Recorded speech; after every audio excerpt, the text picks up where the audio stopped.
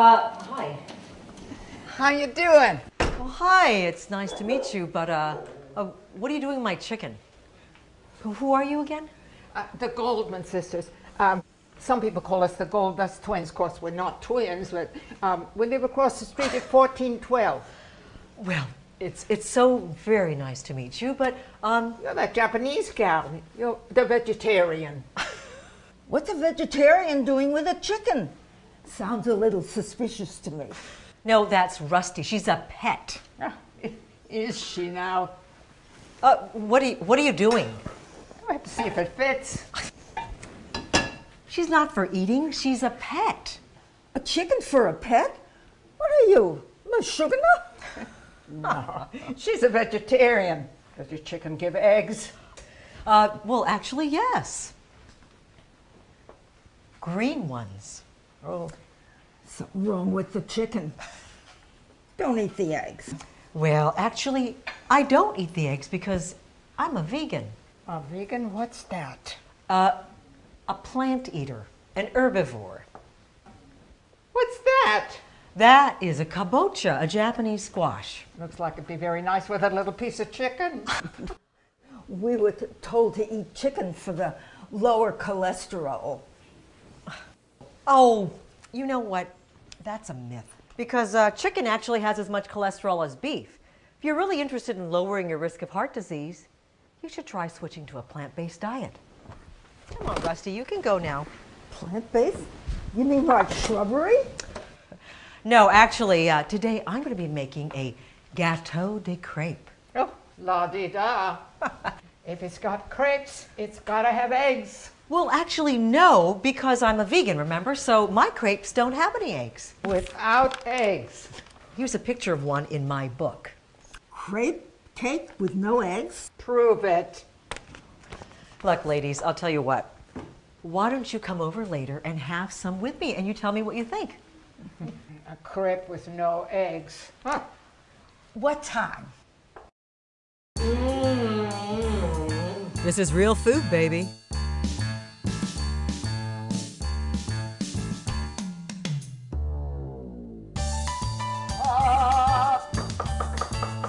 This is so easy to make. It's another one of those uh, 30 second specials.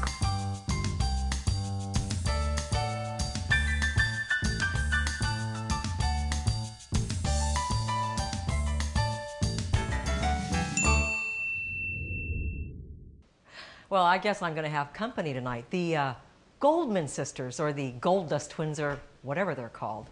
Anyway, I'm anxious to show them how wonderful plants can be. And I'm not talking about shrubbery. So I'm going to make a fabulous gâteau de crepe of a multi layered cake sandwiching all kinds of wonderful vegetables a layer of duxelles, which are finely minced mushrooms sauteed with shallots, really intense mushroom flavor, a layer of kabocha squash, and a layer of spinach, all tied together with a wonderful vegan bechamel sauce. Crepes are typically made with lots of eggs, holding together a little bit of flour, but uh, I don't eat eggs, as I mentioned before. So I'm going to do something a little different. I'm starting out by putting about three cups of water in my blender, which will make a, a slightly thinner batter than uh, milk or soy milk would. And in order to bind the flour together, I've got about two ounces of tofu, which is a wonderful egg substitute. So I'm going to drop that into my water right here. Now I'm going to add a couple of teaspoons of baking powder, which will add the leavening action that I want that it's going to be missing without the eggs. I'm going to season that with a teaspoon of sea salt, and then we're going to throw in some flour. I've got a, a cup of all purpose flour and then a cup of whole wheat pastry flour. And then we're just going to whir this for about a minute to combine it all beautifully, and then we have to let the batter rest for about an hour. Okay, I think that's about done. Now I've got to let this batter rest for about an hour because that helps the crepes hold together when I cook them. You know, when I make crepes, I like to make lots of them and find all kinds of uses for them. It just occurred to me the Goldman sisters will probably want to have dessert. So I think I'll make dessert crepes as well. Another gâteau de crepe, but with berries and a vegan whipping cream. So we're going to have gâteau de crepe for entree and dessert. Maybe I am Miss Sugar now. Okay, while the batter is resting, it's time to prepare the vegetables. I know that the Goldman sisters took a great interest in this squash. This is a kabocha. It's a Japanese squash. Uh, Japanese pumpkin is what they call it. And it's a really, really wonderful squash. This is going to be one of my fillings. I'm going to take the, uh, yeah, that's not working. Let's see if I can use this ice cream scooper to scoop the seeds out. If you can see the inside here, as you can see, it's a really dry pumpkin. And uh, it's really easy to, doesn't have all the strings and all the yucky goop that pumpkins often have inside. It's a wonderful meaty squash with a thin skin that you can actually eat. For this purpose, we're going to actually not use the skin, but anyway, let me get all the seeds out. And what I'm going to do is pop this in the oven, just place them down here, put a little bit of water in the bottom of my dish, and we're going to bake them for about an hour, maybe a little bit less because they're pretty small, until they're nice and tender. All right, in the meantime, I'm going to start on my duxelles, uh, which are finely minced mushrooms sauteed with shallots. Uh, really intense mushroom flavor. All right, so to mince these mushrooms, I'm going to pulse them in the food processor, but I'm just going to cut them into sort of a uniform size. You can just halve them or uh, cut them into quarters. Okay, now I'm going to pulse these mushrooms. You don't want to overfill the food processor, otherwise they won't pulse evenly. I'm just going to turn it on for a minute.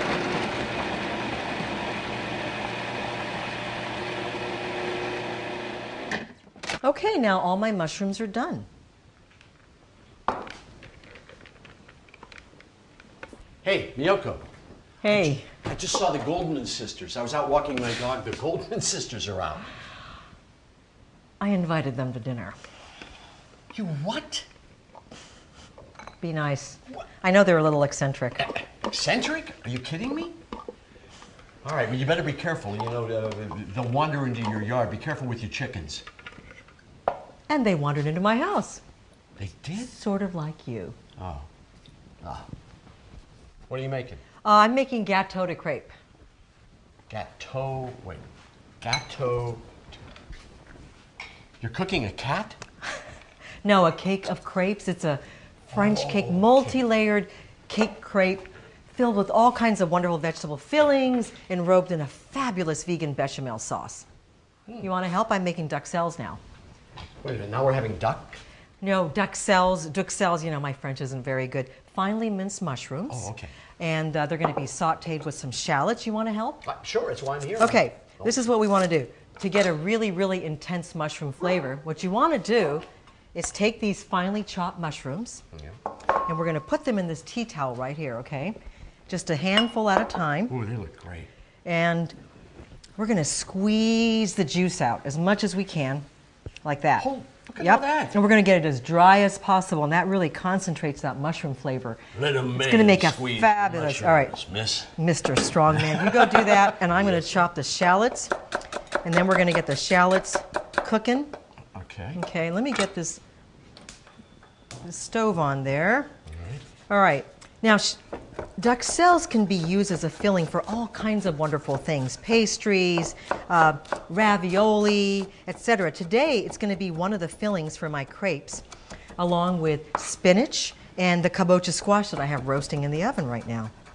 As always, sounds delicious. And we're gonna put a little bit of oil in there so it doesn't stick. This is just some grapeseed oil. And I'm gonna toss these minced shallots in there. Let that go for a few minutes to soften up. Then we're gonna add these. Oh, that's beautiful. See how Am dry? Yep, Yeah. yep. They're supposed to be nice and I dry like that. You do very do good. good. Very good, yes. Very good. Mr. McGovern, you do very good job. All right, get all this stuff in there. Got my shallots going. Now you can flavor this with various herbs like tarragon too. I'm not going to do that today. I'm just going to keep it pretty straightforward. And gâteau de crepe, this is just one version that I'm making today with the spinach and the mushrooms and the and the kabocha, but you can do like a Mediterranean version, you know, with eggplant or zucchini, uh, that kind of thing. There's many, many versions of gâteau de crêpe. Ah, doesn't it sound good? Smell good? Just the uh, the shallots cooking there. All right, now the shallots look ready. I'm going to put in these duxelles that you minced so well, but you did make quite Well, a I mess squeezed here. them dry. Yeah, and you made a, a mess doing that too. but- Hey, that's a man's job in the kitchen. Why do you think I'm here? All right, so now we're just going to saute these duxelles for about 10 or 15 minutes, get them really, really dry. We're going to season them with a little bit of sea salt. Put that in there. Some wonderful gray Celtic sea salt there. The salt's from Ireland. This, oh, and are you from Ireland too? Well, not directly. I few stops along the way. All right, so anyway, we're going to let that go for a few minutes. Meanwhile, I'm going to make the bechamel sauce that's going to tie all of this together. It's going to go into the, bech- uh, the duxelles, the spinach, and the kabocha.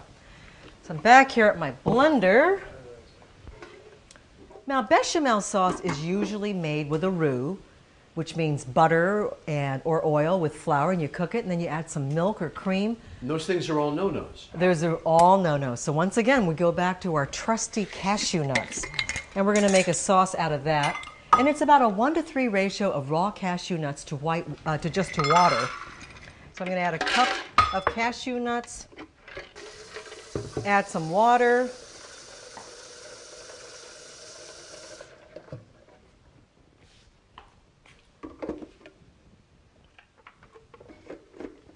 Then we're going to puree that.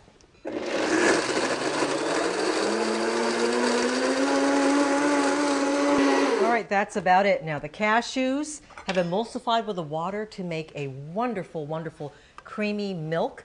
And I'm going to put that in the pot here. And you're I've seen see you do use the cashews uh, uh, half a dozen times, and I'm always That's right. Well, you know, instead of milk, I use cashew milk. Uh, You just keep that stirring. Sure. And in a few minutes, without the addition of any oil, just from cashews and water, this is going to turn into this fabulous creamy sauce. I'm just going to season it with a little bit of nutmeg, which will give it that bechamel flavor. So we'll let that go for a few minutes. You're going to see that thicken up.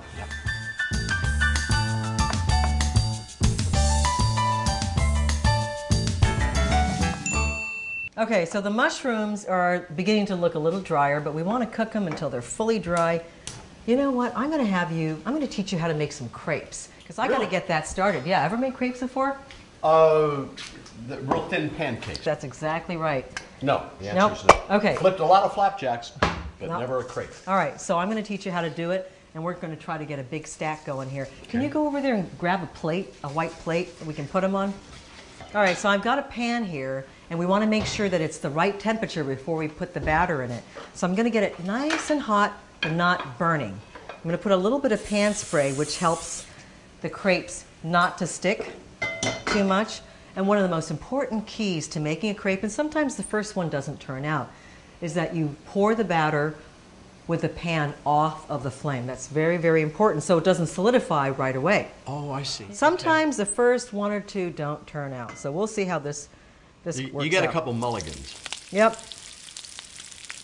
Now, can you hear that? Yeah. You got to hear that sound, and it's still probably not hot enough. We'll let that go for a minute. It's got to be fully cooked on one side Gotcha. before we flip it, otherwise it's going to stick. Okay. All right.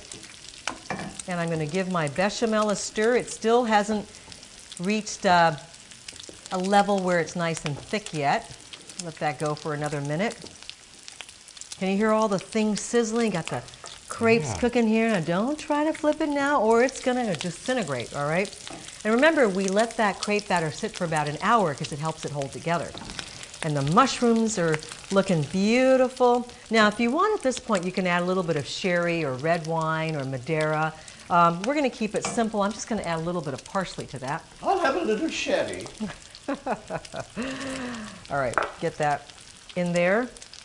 And the duxelles are going to be ready in a minute. Oh, that looks beautiful. Or whatever you want to, however you want to pronounce them. Duck cells, duck cells, I don't know. My daughter's always saying, it's not crepe, mom, it's crap. Correct. Yeah. Almost ready. You don't have to take that crepe from her. Ah, Mr. McGovern.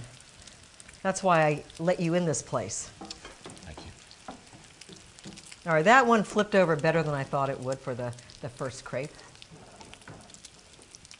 Mushrooms are almost ready. The sauce is cooking up. Not thick enough yet.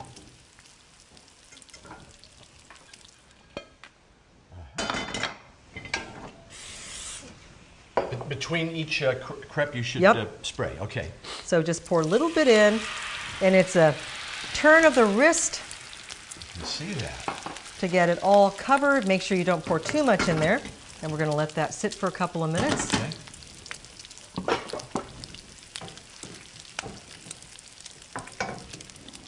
All right, I'm over here at the bechamel sauce. It's getting nice and thick.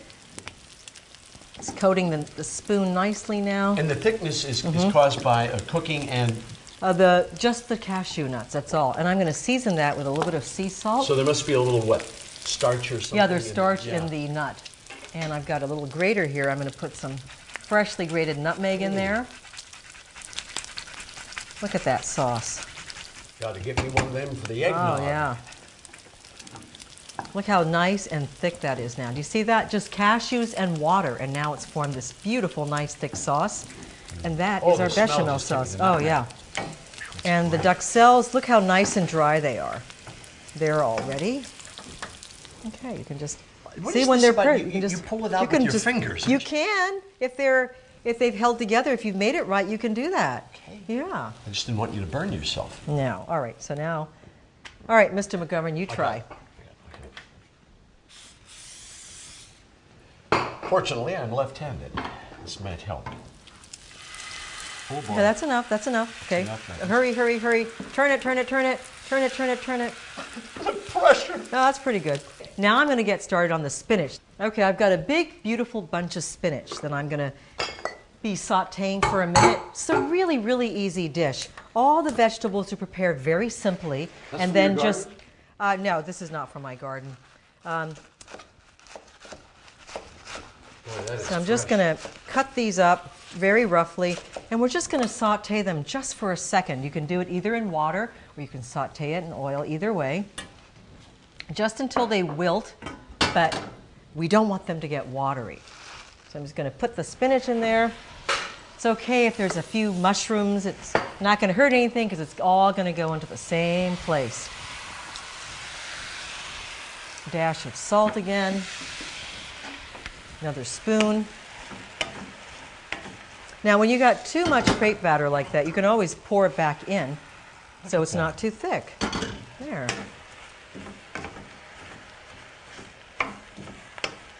Ah, gee, gee, gee, gee. All of me girl.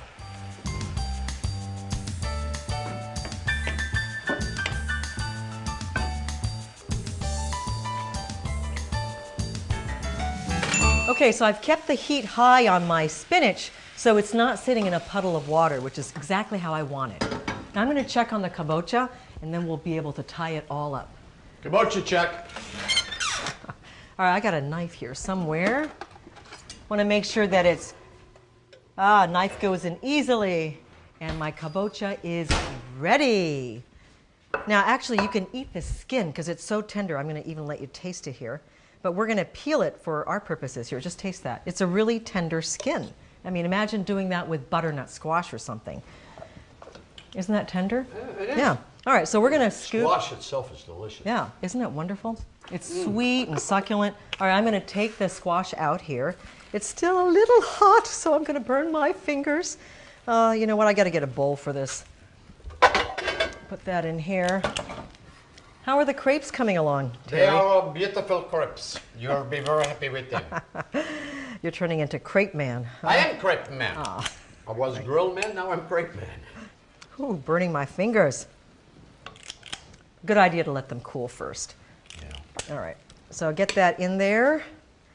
And you can feed the, the skin to your chickens if you want. They love it, and my dog loves them too. You can feed the skin to your chickens. Yeah, the, the skin of the, uh, the kabocha. See, the only reason I'm not using the skin for this dish is I don't want it to be green. I want it to be a nice orange filling. But for many dishes, I will actually use keep the skin on because it's got a wonderful little flavor too. All right, so I get my kabocha in this bowl here. And now what we're going to do is tie it all together by adding a little bit of this bechamel sauce into all of the three fillings. So I just take a little scoop of that and put it in there. And we're going to put a little grating of nutmeg in that as well. The nutmeg goes wonderfully in this dish. Just a dash. Okay. Okay. And we'll stir that. You want to give Yeah. that a stir.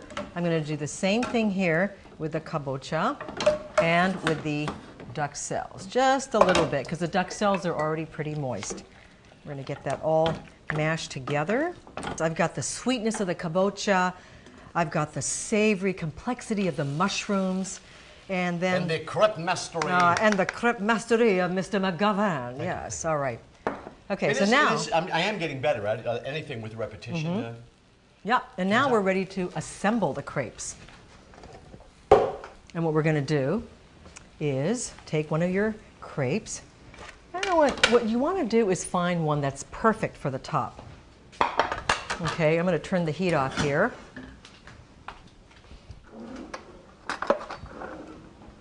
And we're going to layer all of these vegetables like this, okay? So you're going to take some kabocha squash and you're going to spread it on there. very cool. Yeah, it's really cool. And then take another crepe, and put that on top. Then we'll put a little bit of spinach on there. Some lovely spinach filling.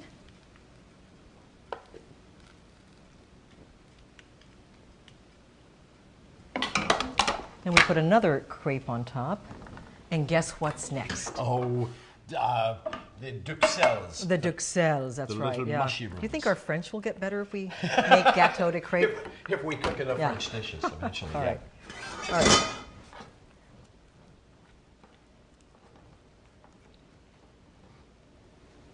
That is going to be delicious. And get another layer.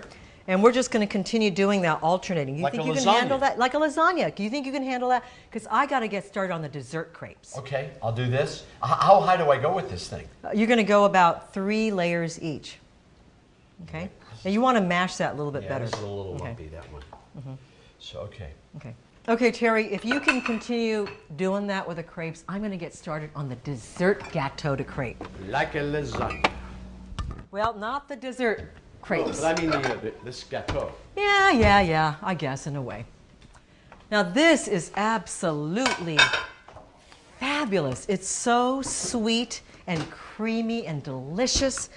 And what I'm going to do is make a vegan whipping cream simply out of coconut milk. Now, these cans of coconut milk have been in my refrigerator for about 24 hours because I want to be able to separate the cream from the coconut water. And you're going to see that in a second. All right, at the top of this can is this hardened solid coconut cream. And we're going to just whip that. That whips up beautifully, just like whipping cream does. I put it in my electric mixer here. And at the bottom of this can is the coconut water that's separated. So you don't want the coconut water in there because that won't whip up as well.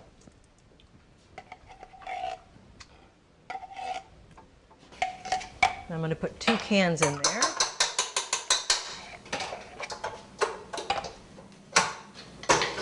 Okay, now you can see it's getting nice and fluffy just like whipping cream.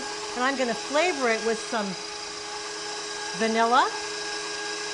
And I'm going to sweeten it with some maple syrup. You can use powdered sugar, agave. This is maple syrup, which will give it a nice maple flavor.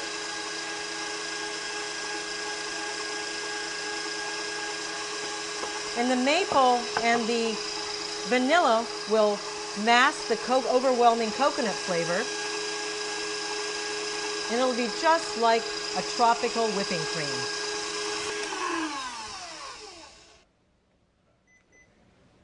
Mm, I gotta taste this cream. Miyoko. Good? So good. Le gâteau s- est fini. Ooh, beautiful. You did a fabulous job. Merci. And I'm glad you're finished because I got another job for you. I need you to slice a few strawberries for our dessert. Oh. Okay, why don't you put that right there? Get you a cutting board, okay, and just slice away. All right, in the meantime, what I'm going to do is warm up a little bit of peach preserves. You can use apricot, you can use peach, just something light colored. I think I need a pot. Pull that out of here. And I'm just going to warm it up and we're going to brush this onto each crepe um, as we alternate the layers with fruit and whipping cream. He's got the strawberries. Will you pass me the, uh, the other crepes, please? All right. Okay, so what we do now here is we take a crepe, put it on the plate here. All right, what I'm going to do is take my pastry brush and I'm going to dab a little bit of this jam on my crepe, like that. Okay? Now I've got my cream. Ugh. And this just makes for such good licking. I can't resist. All right. Wonderful coconut milk, coconut whipped cream. And I'm going to put that on my crepe like that, just like whipping cream. Got to find a place to put that. And I'm going to take a few of these strawberries, Mr. McGovern, mm-hmm. and layer them here. You want to do it in about in one layer. You don't want it piled up like that because you want the, the crepes to drape evenly in like Terry did right there so beautifully. All right. And then I've got a bowl of berries here. I've got blackberries, raspberries, blueberries, and some mango I've cut up. So I'm going to put a little bit of that on there too. I think I'll alternate the layer though. So put a little bit more cream on top so that the next crepe layer will stick to it. And I put that another layer there.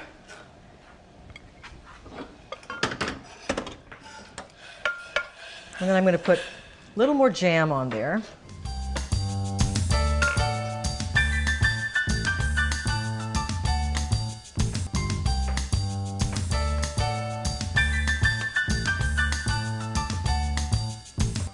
Actually use the ones with the holes in the middle. Just reserve the, the beautiful ones for the top.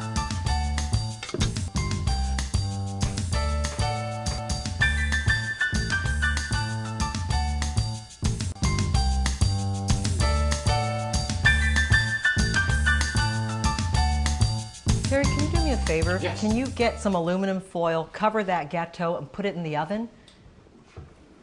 There we go. I wonder what time it is. I know the Goldman sisters are going to be here soon. I think it's, uh, was it 645? Oh boy, they'll be here in about 15 minutes. Got to get this in the oven. Now that's got to bake for about 20 minutes or so until it's nice and hot.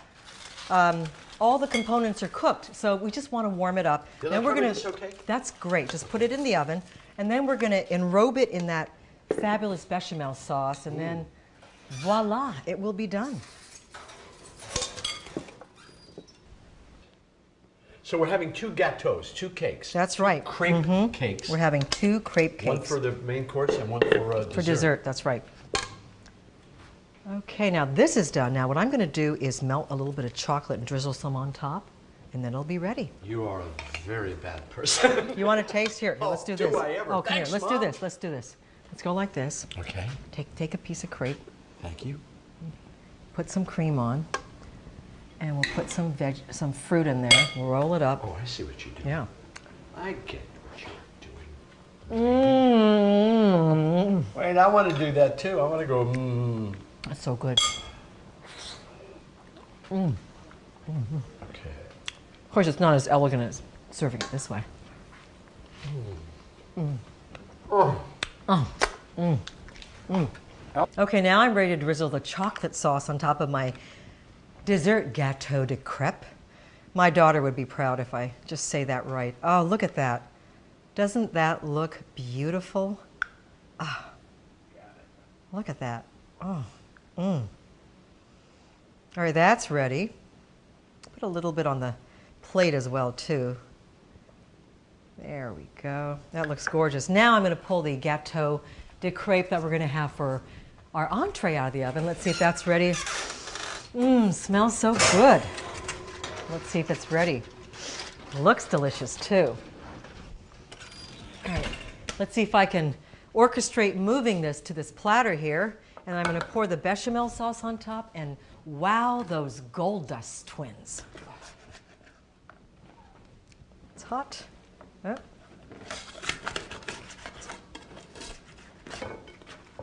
It's a very delicate operation. There. Made it.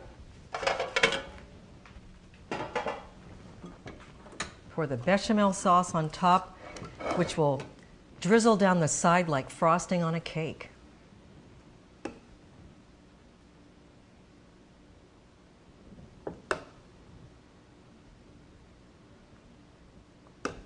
All right, I'm just going to decorate it with a couple of herbs here. I've got some oregano and some thyme. You can put anything on top just for decoration. And now I'm ready to see how they react.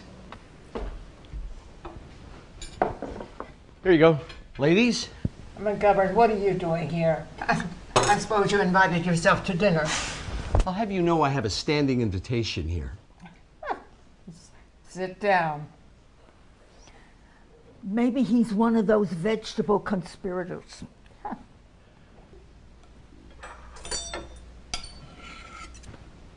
It's for you.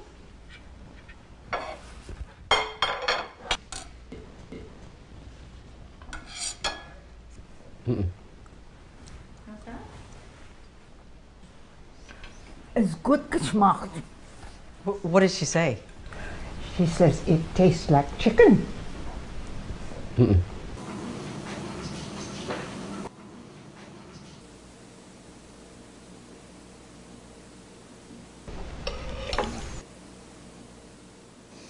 It's the Mahaya. What was that? Oh, she said the portions are too small. But don't worry about it, darling. We'll take the rest of this home.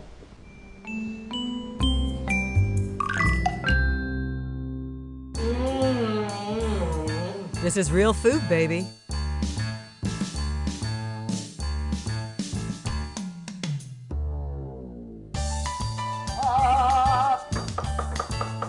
This is so easy to make. It's another one of those uh, 30 second specials.